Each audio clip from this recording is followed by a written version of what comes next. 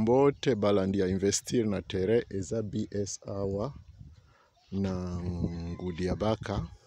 nazolinga olakisa bino baparcele moko boye bazoteka bo awa toza na ngudi ya baka ndenge bozomona bapelon oyo bauti oti yango mpona kura awa toza nzele uti lutendele ngombi na mbudi awa toza tokei na nini nzela yango oyo oyo ekendaka kote na biso na mabele na biso kuna liboso ndenge bozomona village yango ekomi kitoko makasi baconstruction ekoti tala neti mokongo boye atungi awa na parcelle oyo donc kuna nde possession na biso eza kuna liboso na ba 200 300 mètres bon eloko tolingi tolakisa bino eloko tolingi tolakisa bino eza liboso awa nde boyebi ngudiabaka eyebanaka te ava ngai kolongwa na ye na ngudiabaka bato bakomi oyo ya koto oyo bon mabele nazolingolakisa bino eza koto oyo moni deja oyo asa beti na ye eloko moko ya kitoko ati fondation ya mwelo awa mwelo ezalaka nango prix moko ya bie zelo ezalaka prix moko ya bie biloko nyonso ezalaka prix moko ya bie mpo na nini carrière eza mosika te oyo eza nzela ya carrière ekei boye bon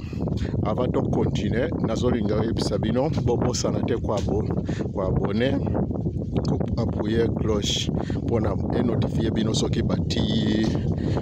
soki totii video ya sika donc awa toza na ngudi ya baka nazokende olakisa bino mabele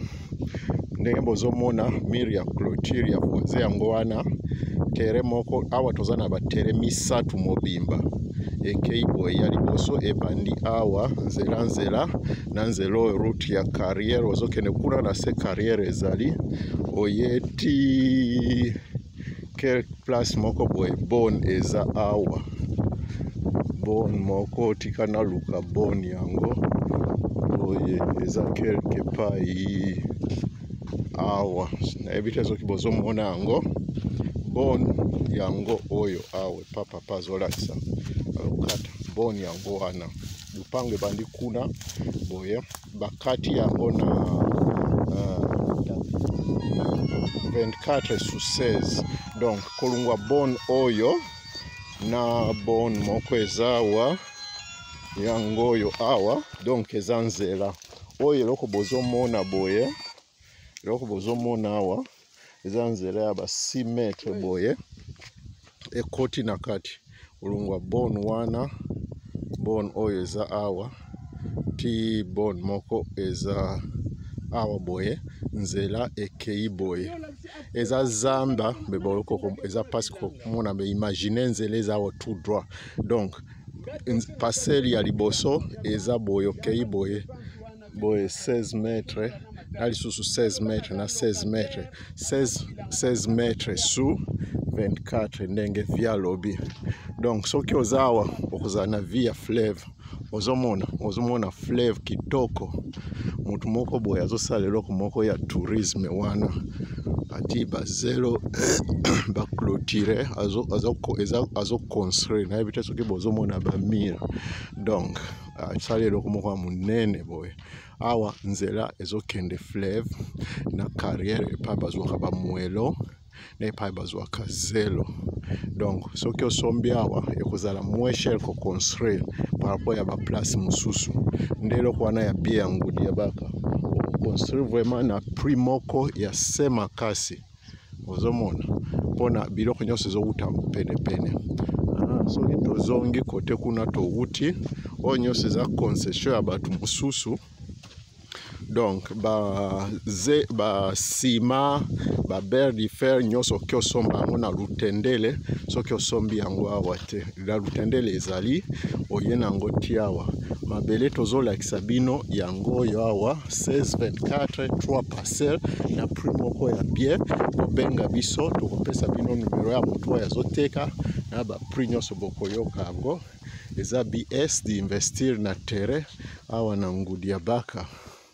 ngudi ya baka bobosana te eza na congo central eza na kinshasa te toza na congo central me toza penepene na kinshasa koya kotoyo na voiture ezwaka ba combien voiture ezwaka ba ba 45 minutes 50 minutes nde boye bon nzela eza na ngo boye mabele tozolakisa bino yango omoni moto oyo aconstruire déjà tika na mata na fondation bomona ndenge nini place yango ezali eza boye donc kolongwa kwe oyo awa okei boye ekopesa yo ba 3 parcelle na ngambo oyo awa nazotambola na fondation ya bato me mabele bazoteka yango oyo na kote oyo kote kuna village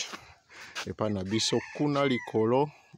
nakanisi vraiment kala mingi te kala mingi te me bakura vraiment ekokoma kotoyo lokola bati deja ba basinga oyo ekoti na village kuna na lutendele bakosala station ah, kura ekokota kala mingi te bon bobosana te koeme koabone nakopartage video na biso soki bolingi information mpona batero oyo bobenga biso tokoyebisa bino nani azoteka na ba prix na information nyonso soki tokoki te topesi bino eye moko ayebisi bino ok bon nalingi natika bino eza bs awa investir na terrain na village ngudiabaka ciao